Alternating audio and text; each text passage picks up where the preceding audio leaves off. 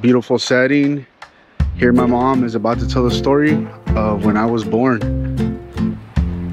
Hola, quiero platicar la historia de cuando mi hijo nació, que es muy importante que la sepa.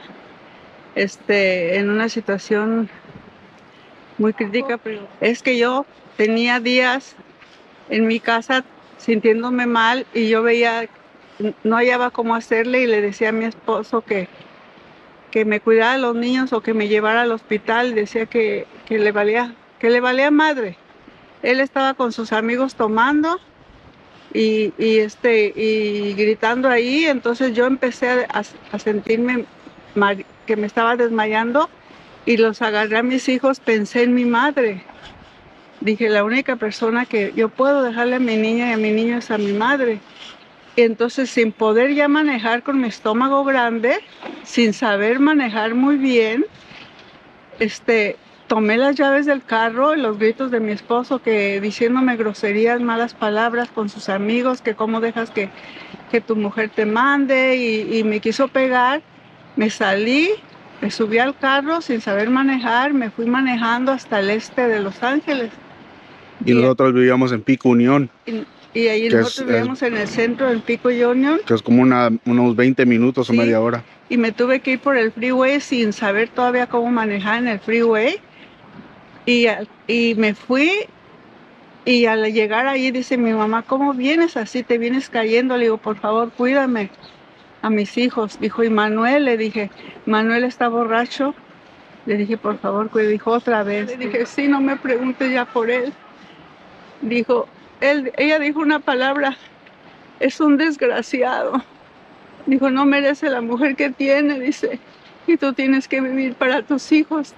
Cuando tú necesites, siempre voy a estar contigo. Y sabía, dice, no te preocupes en el hospital, los niños van a estar bien y ellos lloraban. Se querían ir conmigo, no querían quedarse, pero conocían y querían mucho a mi, a mi mamá, que era su abuela y los días que estuvieron ahí fueron largos para ellos. Y mi mamá lloraba con ellos. Y nunca mi esposo fue a mirarlos, nunca. Dice que como era un desgraciado, ni siquiera fue a mirar cómo estaban sus hijos ni cómo estaba su mujer. Dije, él eh, me maltrataba y tomaba, era todo lo que creía que la vida era así. Soporté mucho, pero el, amor de mis hijos y, y, la fuerza me la dieron mis hijos. Entonces cuando yo ya me fui decía, tengo que salvar a mi, a, mi bebé porque no sabía qué iba a hacer. Y, me fui al hospital general y me, y me dijeron, señora, ¿con quién vienes? Le dije, vengo sola. ¿Cómo? ¿Y dónde está tu esposo? Le dije, no está conmigo, por favor, atiéndanme. Y dije, la señora está muy mal y, se siente, y, y, vieron mi estómago le dijo, el niño se está asfixiando. Fue de emergencia que dijo, si usted no haya llegado, ¿Cómo llegó? Le dije, manejando. ¿Cómo? Sí, el carro está parqueado afuera del hospital. Le dije, por favor, este se lo pueden mover porque hasta ahí llegué y ya no podía más. Y dijeron, señor, usted es muy valiente. ¿Y dónde está su esposo? Le dije, no esté ni dónde están. Y me dijeron que el, el bebé iba a nacer, que ya estaban mis dolores. Entonces, este, me están preparando y, y ven que que no, que me estoy perdiendo el sentido. Dice, la señora se está perdiendo el sentido y no nos está ayudando. Dice, y el bebé se está asfixiando. Entonces me pusieron unas inyecciones y, y, lo que hacía era quedarme dormida. Entonces yo miré a, a la hora que sentía yo los dolores más fuertes que no salía, miré a mi niña y a mi niño que me gritaban, mami, mami, de la manita, no te vayas, no te vayas en una rueda y pensé, mis niños están solos y mi hijo está naciendo. Tengo que hacer el esfuerzo. Entonces vieron que estaba ya en peligro la vida de él, y la mía. Inmediatamente metieron, hicieron una cesárea que, era muy baja, pero era peligrosa, para poderlo sacar de, su cabecita. Y lo sacaron y, este, tenía las marcas de, de, la, de la máquina que lo agarró para sacarlo, para salvarlo, que respirara. Este, las marcas en su cabecita quedaron y se lo llevaron rápido porque no respiraba a, a un lugar, no sé, y yo estaba allí mirando todo eso, pero que sacaba fuerzas para que, porque estaba pensando en mi niño, mi niña y mi niño, y estaba pensando en él, y le digo, ¿está vivo? ¿Está vivo? Dice, sí, pero estás más mala tú, a él se está atendiendo. Cuando hicieron eso, yo me quedé dormida y alcancé a ver cuando lo sacaron su carita de él, que se lo llevaron para un sitio, y yo me, ya me quedé dormida y dice, no, este, ya me siguieron haciendo las cosas que tenían que hacer para mí. Y cuando ya me desperté varias horas de la anestesia, este, vinieron, dice, señora, dice, estás bien, tu hijo está también bien.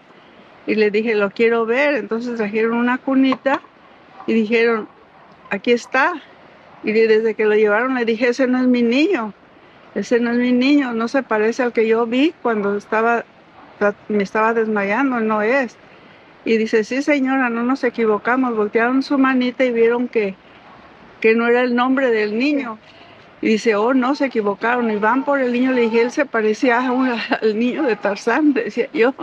Y esa carita se me quedó en, mi mente. Y van y traen la cunita y le dije yo, ese es mi niño. Se llevan al otro y ya pidieron disculpas y, allí fue la manera que mi hijo ya se quedó conmigo. Y, yo me, lo tenían a él en la cuna, pero yo estaba en riesgo de, todavía tenía que quedarme ahí como un mes o dos meses porque estaba muy grave. Y, pero él lo estaban atendiendo ya y mi mamá tenía mis otros dos niños. Y él pasó días todavía en mi casa, nació el niño y él todavía no iba al hospital, ni me recogía a mis niños.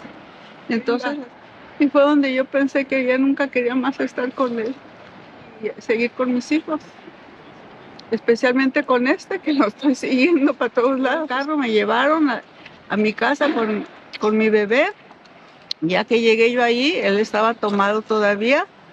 Y, y, allí ya después mandé a alguien que me recogiera a mis hijos y me, le dije a, a, mi mamá que le dijera a mi hermana que me llevara a mis hijos a mi casa porque yo ya estaba en mi casa con el niño y es la manera que pude yo llegar manejando sin tener el apoyo de mi esposo. Es feo que yo tenga que decir eso de mi esposo, pero la verdad que la aguantaba mucho sin que ellos se dieran cuenta de todo lo que él hacía. No quería que se dieran cuenta.